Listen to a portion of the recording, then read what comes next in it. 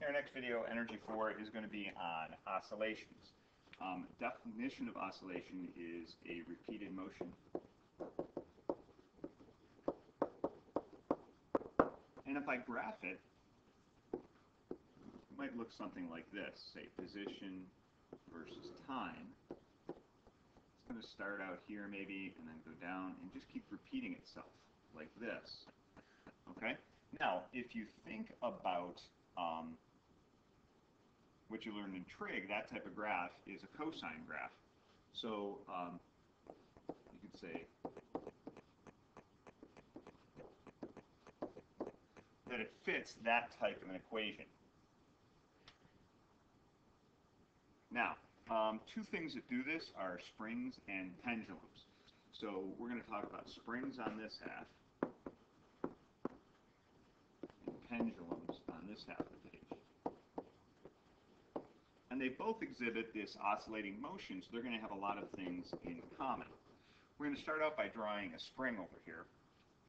And, okay, we have like a ring stand or something. And then we have a spring. And there's its equilibrium position. And then we're going to put a weight on it. Okay, and it's going to come to that point. Then we're going to pull it down, say to here, and call this point A. And then let go of it it's going to come back to the equilibrium position. And we're going to call that point B. And then it's going to continue upward. It's going to shoot past that equilibrium position and end up at a high point up here. We're going to call that point C.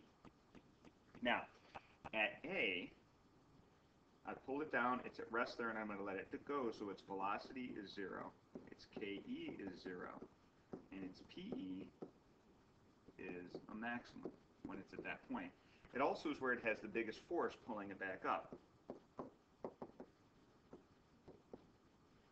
Now, once it gets up to equilibrium, now its velocity is a max.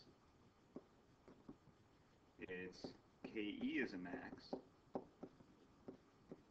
And its PE is a minimum. And the force on it right at that point is zero, the restoring force. Then up at the top, Okay, so it continues upward until it comes to rest. So right at the top, the velocity is zero, the KE is zero, um, the PE is at a max, and um, the restoring force is also at a max. So it just keeps doing that. It keeps changing back and forth. At A, it's all PE. At B, it becomes kinetic energy. At C, it's back to PE and then it goes back to B where it's KE, and then back down to where it's PE, and it just keeps switching back and forth. So if I was to graph this, and I'm going to do it in three different colors, so you may want to do the same thing. The first thing we'll do is graph um, like its height, so its y position versus time. It starts out here at a minimum, okay, at A, and then goes up, and comes back down, and just keeps doing that. Now I'm going to mark some points here.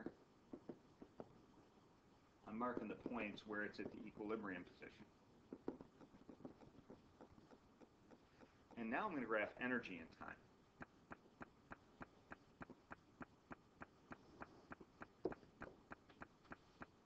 Okay, and first we'll do the potential energy. So PE will be in red. All right, um, so it starts out at A, it has a lot of PE and zero KE, so it's starting out with lots of potential energy. When it gets to point B here, all right, this is point B when it's at equilibrium, now it's lost its potential energy and it's turned into kinetic. So it's going to look something like this. Okay?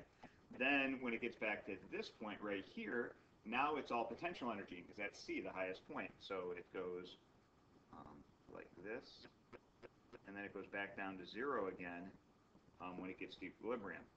And it just keeps doing that over and over again.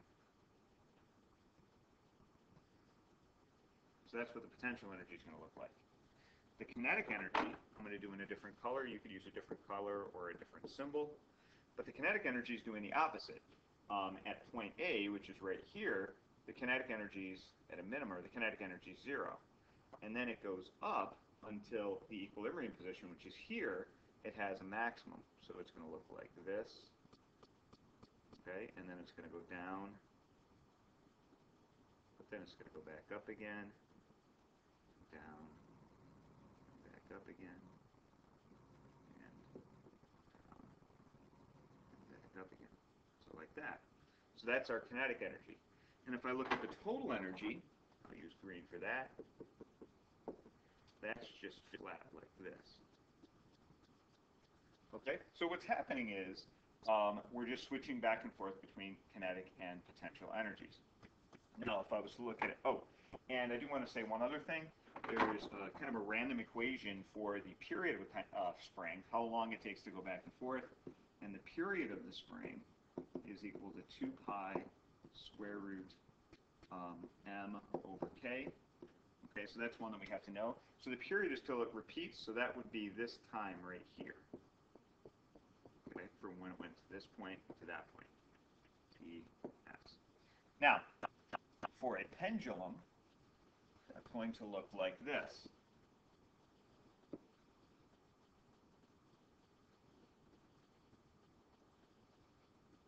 Okay, call this point A, that point B, and that point C.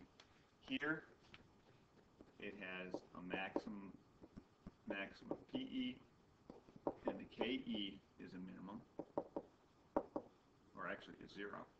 And then at point B, that potential energy is turned into uh, kinetic energy, so PE is a min, and KE is a max. And then it swings up to point C, where um, the PE is a max, and the KE equals zero. We'll have the same type of graph, instead of being y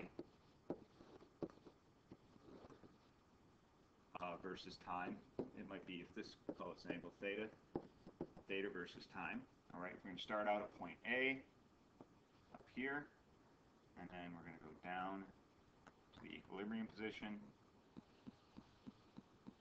and just oscillate back and forth like that. And I'm not going to bother, but we'd end up with the almost the exact same type of graph here. Okay, it starts out, it's all potential energy um, at this point. It turns into kinetic energy at this point, back to potential, to kinetic, to potential, to kinetic, and so on. And the equation for the period of a pendulum is going to look very similar. It's going to be 2 pi square root. And the period of the pendulum would be the time it takes to repeat. So if I start here and end up there, that time would be the period of the pendulum.